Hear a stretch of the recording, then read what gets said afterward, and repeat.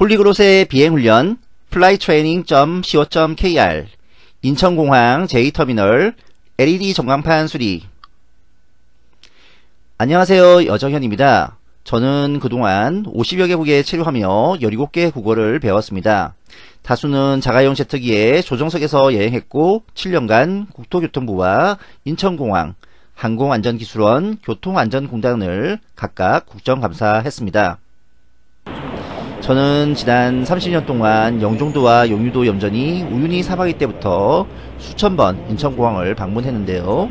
오늘은 매우 특별하게 제2터미널에 LED 전광판을 수리하러 왔습니다. 오늘 작업할 현장은 제2터미널 삼청 버스 도착 구간의 첫 번째 LED 전광판입니다. 수리할 부품은 240mm RPG 3색 LED 모듈과 드라이버입니다. 제품은 염분과 습기에 의하여 손상이 이미 매우 심각한 상태였습니다. 명정보 기술에서는 파손된 부분을 레이저로 제거하고 부품을 이식하거나 점퍼선을 날리기도 하며 제조사에 특별히 부탁하여 단종품을 재생산하기도 합니다. 수리가 끝난 모듈과 드라이브는 1차 검사 후 충분한 에이징 테스트를 거치게 됩니다. 오늘 현장의 교통통제는 이용재 부사장님께서 흔쾌히 담당해 주셨습니다.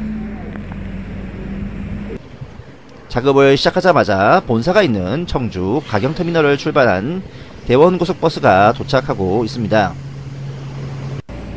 LED 전광판의 수리 작업을 위해서 임차한 크레인을 먼저 전개해야 합니다. LED 전광판 앞에는 가시성을 좋게 하기 위한 햇볕 가리개가 설치되어 있는데 이를 사전에 제거해야 합니다. 이어서 손상된 모듈은 교체하고 전원 케이블과 플랫 케이블을 다시 연결해 주어야 합니다.